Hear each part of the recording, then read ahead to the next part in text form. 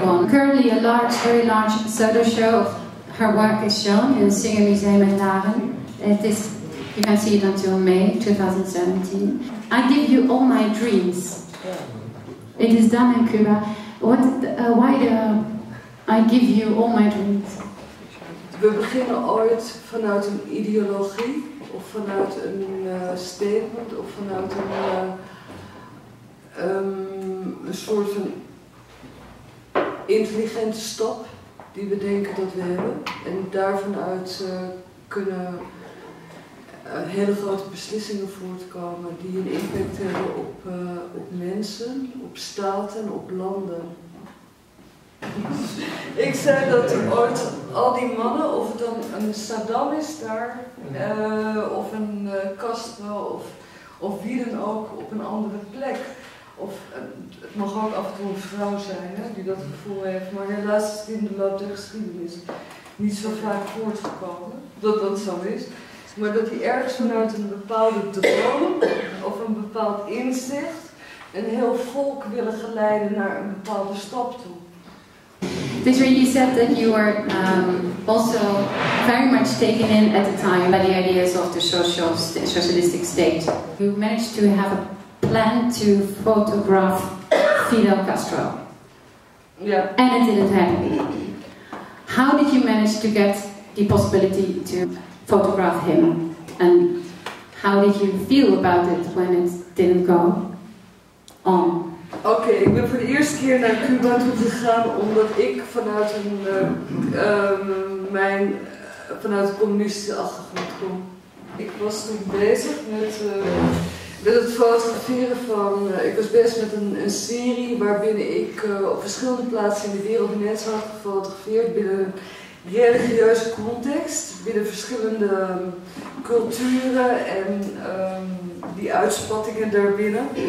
Uh, Taoïsme, uh, moslims, uh, christenen en dergelijke, die door middel van het volgen van bepaalde ideologieën probeerden om te transiteren om daar binnen, binnen hun maker verenigd te worden, om het zo maar te zeggen dat had ik, dat had ik niet afgesloten. Ik had in 2000 een boek gemaakt daarover. En daarbinnen dacht ik toen van ik wil voortgaan binnen dat concept. Maar wil dan meer nu binnen de Afrikaanse slavenhandel gaan kijken naar landen als Haiti, Cuba, etc. Allemaal waar mensen dan maar um, Afrikaanse slaven naartoe zijn gebracht. En mensen dan de religies hebben om het lichaam als vervoersmiddel van de geesten te hebben. And I was living in Central Havana, which is like one of the poorest uh, parts of, of Havana. Uh, Havana. Yeah. And I had a real um, um, and I thought like, well, anyway, no, no, no, no. First I started that I thought like, well, I want to like, because you come somewhere, huh? that's how, how uh, Catherine also said, like how in, intuitive, you, you, intuitive. like, you, you, you're looking at a place, you, you first have a certain sort of an idea, like, what do I want to do here? And then things can change because you don't get permission or you don't people die. In my case, uh, I, I, was in touch with Albert, Alberto Corda, which was the photographer of Fidel Castro in the last 20 years or something. And um, uh, we got to know each other. He really liked my work. He was going to introduce me to Castro and all these sort of things. To, to, and then I started to make this whole plan how I want to make this this series about like the whole people at the top that were still alive, the, the military system, the schooling system, etc. So I set up, the, but I had to go back to the Netherlands for an exhibition, and, and then I started to plan everything for the next trip. Mm-hmm. Well, actually, he died one week before I got back to Cuba. I stayed with the family, so I just became really friends with the family. And you just you hear their stories, you hear about their their their dreams, their ideas about life, and you see how some sort of a fucking social experiment that has its impact on a whole on a whole island just doesn't work for people. You know, because we in this room in the Netherlands we all have the opportunity to decide about our lives. You know, and, and they can't do that because it's like a social experiment on that island for someone who once had a dream about himself coming from a fortunate family. And he did a lot of good also, in, in a way, in the beginning.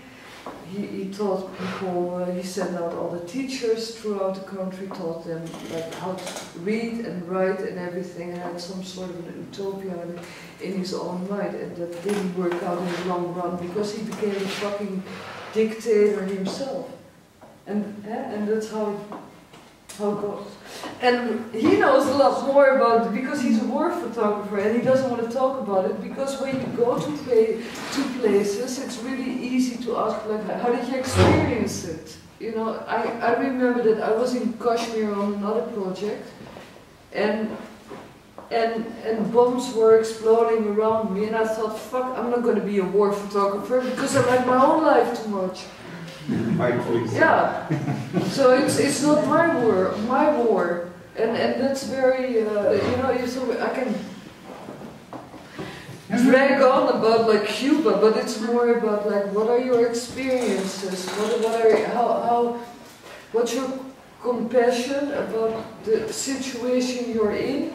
I can drag on about Cuba, but it's just such a, a little thing. I've basically photographed like in, in, I was situated in, in one place and I really liked the people and I fell in love with the people. I fell in love with their cynische humor, you know, because they have so fucking little and they make incredible things with it. Uh, and, and, and ik ga niet zeuren over dat ik een vrouw ben en dat zij een man zijn, weet je, want dat is gewoon realiteit. En, en dat is gewoon uh, hoe je werkt met dingen. Uh, dus het gaat heel, een heel ander soort van ding zijn. We kunnen hier wel allemaal op de stoel zitten, maar ik bedoel, hij heeft waarschijnlijk hele andere dingen meegemaakt dan dat ik het meegemaakt. En hij heeft geen zin om dat te delen met jullie, omdat het hem zo ontzettend geraakt heeft. You just mentioned the, the personal detail some, somebody somewhere. And I really, really believe in that. It's, it's somebody you really, really like, and it has. It's very difficult to say like, oh, this is, you know, this is the big story and everything, which becomes like almost like everybody's talking about the big story. And you know, if you have a certain sense, uh, certain sensitivity, that's exactly what, what, what, you're looking for, and that's what you like actually. You know, and you're absolutely right. Nobody should become a board photographer actually. But, um, we, we, can actually recycle the, the, photographs from the, from the first war we ever had and just say like it's really, really, really, really bad. So, um, you were definitely touched by your time in Cuba about nee, ik ben, ik ben living three months with je wordt, ge, je wordt geraakt door wat voor plek je ook bent, toch? Dat, dat, dat, dat is ook, uh, denk ik, waardoor je een een goede kunstenaar kunt zijn. Dat je op een gegeven ogenblik, uh, dan, je onderzoekt plekken en, daar, en ik bedoel, dat is meer binnen de fotografie dan wanneer je ook werkt binnen, uh, dat je uh, andere landen, andere systemen hè, toch onderzoekt. En soms word je heel erg gegrepen door iets en een andere keer gewoon niet. Ja. Yeah. Thank you very much. Yeah.